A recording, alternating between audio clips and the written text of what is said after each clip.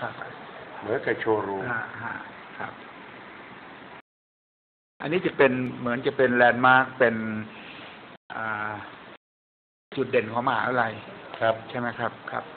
ท่านประธานลองเล่าให้ฟังนิดหนึ่งอีกครั้งหนึงคนแนวคิดมันนะครับเป็นยังไงบ้างครับ คือวิธีคิดเนี่ยครับเราจะทำอ่าป้ายมหาวิทยาลัยเหมือนคนอื่นเนี่ยเราครัก็บไม่ทำแบบนั้นครับทำแบบเอ่อ พิเศษแล้วก็แปลก แปลกก็คือเราทำเป็นลูกโลก เพราะการศึกษาเนี่ยไร้พรมแดนทั่วโลก ก็เลยเอาลูกโลกเนี่ยเป็นตัวตั้ง แล้วก็ทำด้วยสแตนเลสก็มีชื่อมหาวิทยาลัยกรุงเทพธนบุรีครับแล้วก็จะใช้อามอเตอร์เนี่ย หมุนขับเคลื่อนแบบช้า แล้วก็จะมีน้ำพุอยู่รอบๆ ดูแล้วมีความร่มรื่น มีความเย็นฉ่ำแล้วความแปลกเนี่ยลูกโลกก็จะหมุนอ้อมไปเรื่อยๆนะครับครับทีนี้ในลานในลานหน้ามหาวิทยาลัยเนี่ยก็จะเป็นบันไดห้าขั้นอ่าเดินลงไปถึงน้ำเลย ความยาวของบันไดเนี่ย ก็จะยาวร้อยกว่าเมตรจากขวาไปซ้ายเนี่ยนะคขวารับไปซ้ายเนี่ครัยบร้อยกว่าเมตร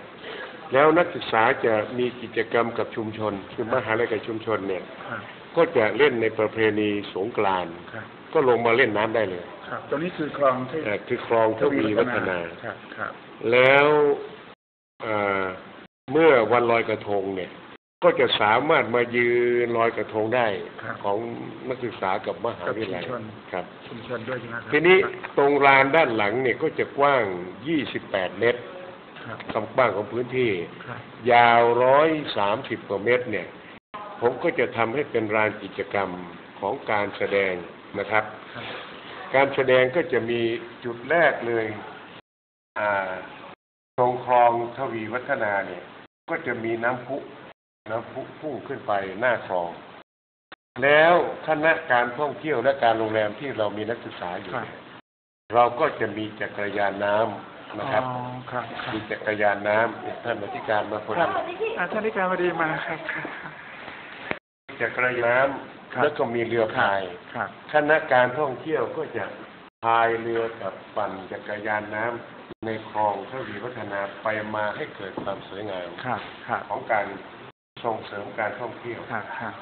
ทีนี้ลานตรงนี้ก็จะมีเอ่อลานดนตรีนะคครัรับบครับ การแสดงดนตรีของคณะเอ่อ ดนตรีอะไรนะกระยางเอ่อประสาทนะดูริยางกษัตริดุย์ริยางกษัตริย์ครับนะครับ ก็จะมาแสดงครับทีนี้คณะอื่นๆ ซึ่งมีกิจกรรมอยู่แล้วครับก็จะมาแสดงอยู่ลานนี้เพื่อให้ประชาชนไปมาเนี่ยได้เห็นว่าครับมหาลัยกรุงเทพธนบุรีนี้ มีวิธีคิดที่ไม่เหมือนกับมหาวิทยาลัยอื่นครับเอาความทันสมัย ความสมัยใหม่เข้ามาสู่กระบวนการ แล้วทีนี้ธงชาติของประเทศที่มีชื่อเสียงทางการศึกษาเนี่ย เราก็เอ็นโอยู่ครับที่จะปักธงของแต่ละชาติตรงนี้ครับครับ รวมทั้ง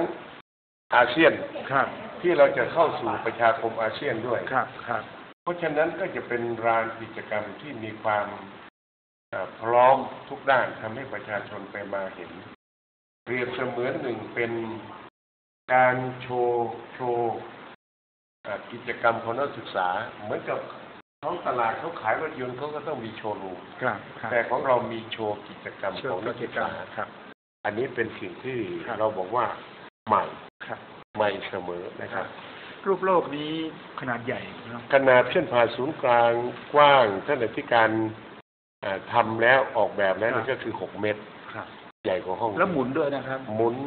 ไปช้าๆหมุนชื่อมหาวิทยาลัยครับสะท้อนชื่อความมหาวิทยาลัยเนี่ยจะอักษรตัวสูงเนี่ยจะสูงเมตรยี่สิบห้าเซนติเมตรครับมีภาษาอังกฤษด้วยไหมครับหรือเฉพาะภาษาไทอ่ายเฉพาะภาษาไทยถ้าภาษาอังกฤษด้วยมันจะตัวเล็กอ๋อครับครับก็เพื่อให้เห็นชัดเจนมากยิ่งคขึ้นรับครับนะครับครับครับก็ขอบคุณมากครับแต่ทีนี้